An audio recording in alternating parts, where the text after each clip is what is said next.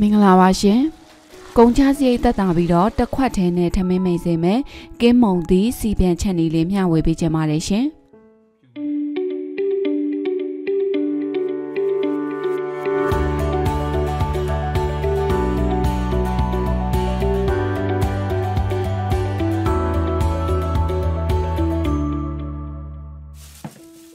အရင်ဆုံးကင်းမုံသီးကိုရေးစင်အောင်လို့ဆေးပါမယ်။ ဒါလေးကတော့ကင်းမုံသီး1500ဘူးဖြစ်ပါတယ်။ကင်းမုံသီးမှာကအချိုသီးနဲ့အခါသီးဆိုပြီးတော့နှစ်မျိုးရှိပါတယ်။ဒါလေးကတော့အချိုသီးကိုသုံးနေတာဖြစ်ပါတယ်ရှင်။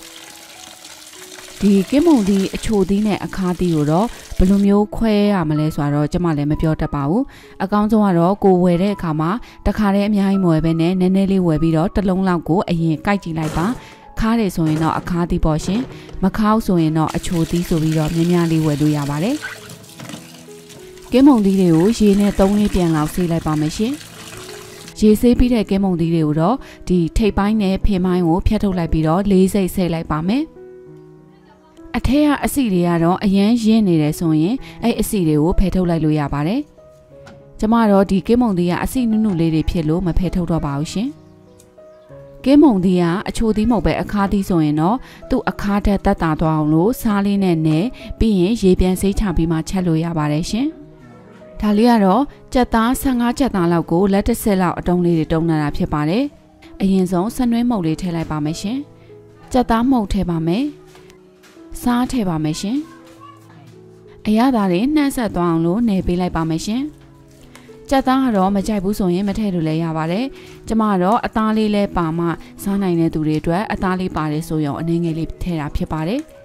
။ကြက်သားလေးကိုအရသာဝင်သွားအောင်လို့တေချာလေးနယ်ပြီးတော့ခဏလောက်နှံ့ထားလိုက်ပါမယ်ရှင်။ဟင်းနဲ့ထည့်ချက်ဖို့အတွက်တော့ငရုတ်သီးစိမ်းအနေငယ်ကြက်သွန်နီတအုပ်ခွဲကြက်သွန်ဖြူသုံးမှလောက်နဲ့ဂျင်းလေးအနေငယ်သုံးပါမယ်ရှင်။ ဂျင်းကတော့ကြက်သားလေးပါလို့ညှိနှံလေးသက်သာအောင်လို့နည်းနည်းလေးထည့်တာပါ။အသားနဲ့မချက်ဘူးဆိုရင်လည်းဂျင်းထည့်ဖို့မလိုပါဘူးရှင်။ကြက်သွန်နီကိုပပလေးလှီးလိုက်ပါမယ်။မြုပ်သီးစိမ်းကိုလည်းခက်ဆောင်ဆောင်လေးတွေလှီးထားလိုက်ပါမယ်။ကြက်သွန်ဖြူကိုဓာပြလေးရိုက်ပြီးတော့နှုတ်နှုတ်ဆင်းလာပါမယ်ရှင်။ဂျင်းကိုလည်းဓာပြရိုက်ပြီးတော့နှုတ်နှုတ်ဆင်းလိုက်ပါမယ်။ဂျင်းကိုတော့ညက်နေအောင်လို့ထောင်းလိုက်မယ်ဆိုရင်ပို့ပြီးတော့ကောင်းပါတယ်ရှင်။ အားလုံးအစင်းသင်းဖြစ်သွားပြီဆိုရင်တော့ဟင်းချက်ဖို့အတွက်အိုးထဲကိုစီထည့်ပါမယ်ရှင်။စီကတော့အရင်နဲ့လို့မရပါဘူးကင်းမုံသီးကြော်ကစီအီအီလေးနဲ့မှစားကောင်းတာမို့လို့စီကိုနည်းနည်းလေးပို့သုံးပါမယ်ရှင်စီလေးပူလာပြီဆိုတာနဲ့ကြက်သွန်နီအရင်ထည့်ကြော်ပါမယ်ကြက်သွန်နီလေးကိုတော်တော်လေးမှုေးပြီးတော့နွမ်းလာတဲ့ထီကိုကြော်ပေးပါမယ်ရှင်စီလေးတွေအမြုပ်ထနေတာကတော့ကျမကဒီမှာဆီလီကွန်ဇွန်းကိုသုံးတာလို့ဖြစ်ပါတယ် ကြက်သွန်နီလေးတော်တော်လေးနွမ်းလာပြီဆိုရင်တော့ဂျင်းနဲ့ကြက်သွန်ဖြူကိုထည့်လိုက်ပါမယ်ရှင်။ဂျင်းနဲ့ကြက်သွန်ဖြူကိုလည်းအနံလေးမှုေးလာတဲ့ထီကိုကြော်ပေးပါမယ်ရှင်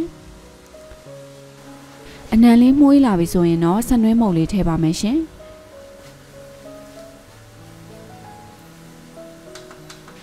ကြက်သွန်လေးတွေရွှေဝါရောင်ပြောင်းလာပြီဆိုရင်တော့ငရုတ်သီးအစိမ့်မှုတ်ကိုထည့်ပါမယ်ရှင်။ငရုတ်သီးမှုတ်အနံ့လေးတက်တာသွားအောင်လို့ခဏလောက်မှွေပြီးပြီဆိုတာနဲ့ အရသာနယ်ပြီးတော့နှက်ထားတဲ့ကြက်သားတွေထည့်လိုက်ပါမယ်ရှင်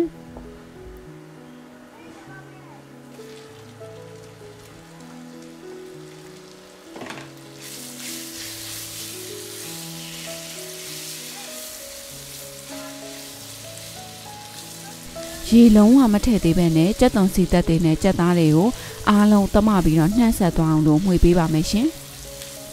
ကြက်သားလေးတွေကြက်တဲ့အယောင်ပြောင်းသွားပြီးတော့ စီပြန်တဲ့အနေထားရောက်တဲ့ထီကိုမှွေပေးပါမယ်ရှင်။စီပြန်တဲ့အနေထားရောက်ပြီးတော့အတန်လေးတွေဖြစ်ဖြစ်နေလာပြီဆိုရင်တော့ငမြာရည်လေးအနှင်းငယ်ထည့်လိုက်ပါမယ်ရှင်။ငမြာရည်လေးထည့်လိုက်ပြီဆိုတာနဲ့အနံလေးကတအားမှွေပြီးတော့တက်လာပါလိမ့်မယ်။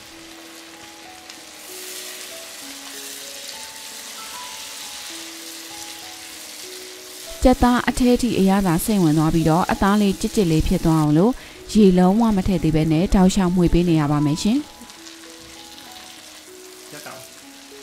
မွေနေရင်နဲ့တော်တော်လေးခြောက်လာပြီးတော့အတန်တွေကတဖြည်းဖြည်းမြည်လာပြီဆိုရင်တော့ကြက်သားလေးနှိုးသွားအောင်လို့ရေလေးထည့်လို့ရပါပြီရှင်။ရေကိုအများကြီးမထည့်ပါဘူးနည်းနည်းလေးထည့်ပြီးတော့ကြက်သားလေးနှိုးသွားအောင်လို့အဖုံးလေးအုပ်ထားလိုက်ပါမယ်။ခဏလောက်တည်ထားပြီးပြီဆိုရင်တော့ရေလဲခန်းတဲ့လောက်ရှိသွားပါပြီကြက်သားလေးလည်းနှူးသွားပါပြီရှင်ဒီချိန်ရောက်ပြီဆိုရင်တော့ကင်းမုံသီးလှီးတက်တာလေးထည့်လိုက်လို့ရပါပြီရှင် ကင်းမုံသီးနဲ့ကြက်သားတွေနှက်ဆက်သွားအောင်လို့မှွေပေးလိုက်ပါမယ်ဒီကင်းမုံသီးကသွေးသွင်းတကြားတက်ကိုထိမ့်ညှိပေးနိုင်တဲ့အတွက်စီးကျူသမားတွေမဖြစ်မနေဆွဲပြီးတော့စားသုံးတဲ့အသီးဖြစ်ပါတယ်ကင်းမုံသီးတဲ့အရသာဝင်အောင်လို့အရသာတွေထည့်ပါမယ်ရှင်စားထည့်ပါမယ်ကြက်သားမုတ်ထည့်ပါမယ်ရှင်တကြားလေးအနှဲငယ်ထည့်ပါမယ်တကြားကမကြိုက်ဘူးဆိုရင်မထည့်လို့လည်းရပါတယ်ရှင် ပြီးတာနဲ့ရေမထည့်သေးဘဲနဲ့ကင်းမုံသီးတွေကိုအရသာလေးဝင်သွားအောင်လို့မှွေပေးပါမယ်ရှင်ကင်းမုံသီးကဈေးသက်သာပြီးတော့အရန်ကိုဆေးဘက်ဝင်တဲ့အသီးဖြစ်ပါတယ်ဝိတ်လျှော့နေတဲ့သူတွေကင်းမုံသီးကိုစားပေးမယ်ဆိုရင်ကင်းမုံသီးမှာကအမြင့်တက်တွေအများကြီးပါတဲ့အတွက်သူကအစာခံနိုင်စေပါတယ်ပြီးတော့သူကအစီမတက်အောင်လို့ထိန်းထားပေးနိုင်တယ်လို့လည်းသိရပါတယ်ရှင် စီပြန်ပြီးတော့လုံးဝချက်ချောက်လေးဖြစ်သွားတဲ့အနေအထားထိကိုမှွေပေးနေရပါမယ်ရှင်အဲ့ဒါမှကင်းမုံဒီအထဲထိအရသာကဝင်มาဖြစ်ပါတယ်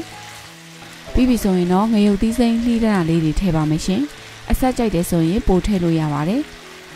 တချို့ကင်းမုံလေးတွေကြတော့အခွန်မာပြီးတော့နူးဖို့အတွက်လည်းနည်းနည်းလေးကြာတတ်ပါတယ်ဒီကင်းမုံလေးလေးကတော့အခွန်လဲပြော့တယ်အရန်လဲနူးညံ့တဲ့အတွက်ခဏလေးပဲချက်ရပါတယ်ရှင်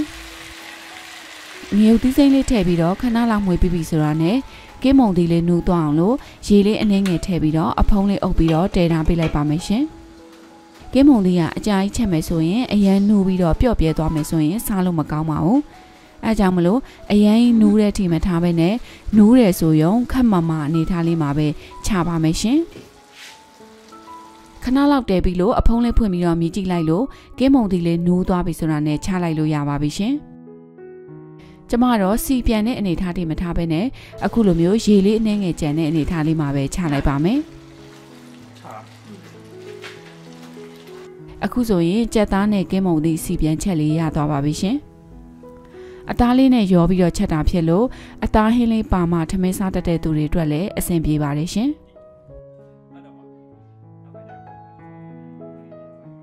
အခုလိုမျိုးကင်းမုံသီးကိုအသားလေးနဲ့ရောချက်တာဖြစ်လို့စီပြန်ဟင်းထက်ပိုပြီးတော့ကုန်ကြစိတ်တတ်တာပါတယ်ဟင်းလဲပွားပြီးတော့မြမြလေးလဲစားရပါတယ်ရှင်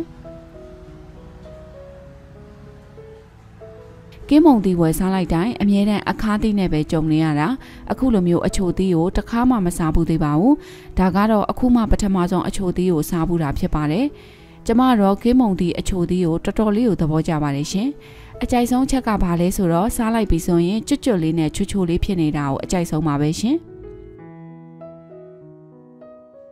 အခုလိုကုံစင်းနှုံနဲ့အရန်ကြီးနေတဲ့အချိန်မှာအသားဟင်းတစ်ခွက်အရွက်ကြော်တစ်ခွက်ဟင်းကြိုတစ်ခွက်ချက်နေဖို့အဆင်မပြေတော့ဘူးဆိုရင်အခုလိုမျိုးတစ်ခွက်တည်းနဲ့အာဟာရလည်းဖြစ်ထမင်းလည်းမိန်စေတဲ့ကင်းမုံသီးစီပြန်ချက်လေးချက်စားကြည့်ပါရှင် အဆုံးထိကြည့်ရှုအားပေးလို့အထူးပဲကျေးဇူးတင်ပါတယ်အားလုံးပဲကျမ်းမာချမ်းသာပြီးတော့ဘေးရန်ခတ်သိမ်းမှကင်းဝေးကြပါစေရှင်